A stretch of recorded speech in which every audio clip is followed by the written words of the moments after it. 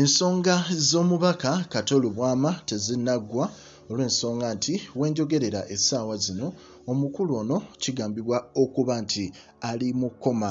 Era nga ekyamutaddeyo mwattu oyinza okuba okyebuuza naye ate ffenna tumanyi nti amawulire ga saturatinz olunaku olw'eggulo nga omukulu ono katolu bwama kigambibwa okuba nti yavaawo n'agenda mu ggwanga erya butuluuki era nga ekyamutwala mu ggwanga lino erya taki kwe kuba nti waaliwo pulaani oba waaliwo olukwe bagezeeko okubaako engeri gye bafunzaamu. Omukulu fred kajubi lumbuye era nga pulaani eno yalimu omukulu amanyiddwa nga muhammad nsereko era nga kigambibwa okusinziira ku babuloga aba national unity platform. Omuli omukulu katongole ne kojja omugezi nga kigambibwa okuba nti katolubwamu ono yatambula n'obutwa obw'enjawulo bwe yali agenda okuba nga akozesa ng'agudde ku mukulu fred lumbuye.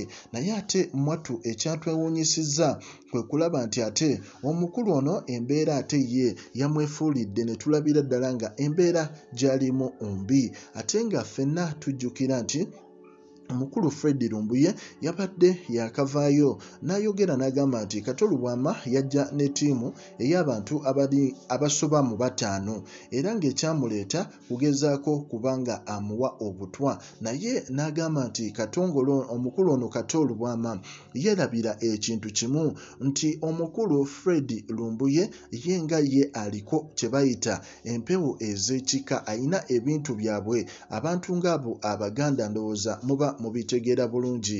Naye erabira nti bano abantu oluusi waliwo ebibabeerako mwattu n'ategeera ekigenda omutuukako ng'obudde bukyali.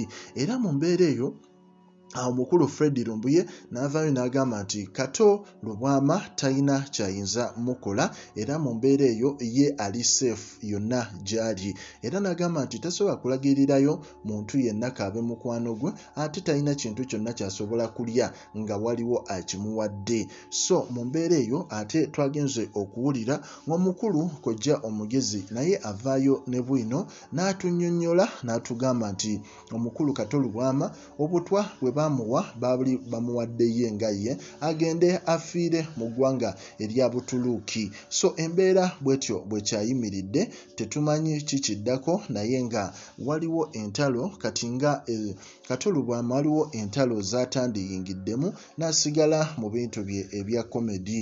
Olaba wafiira mu by'okusaaga ebintu ng'ebyo. So ffe tetumanyi kikiddako naye nga buli omu aleeta bwino wuwe. Naye nga byonna bipointinga ku kigambibwa okuba nti bano bonna ekyabatwala mu ggwanga erya butuluuki kubanga bateeka ettafaali mu kuyigga n'okufeffetta wa omukulu fred kajubi lumbuye gy'ali.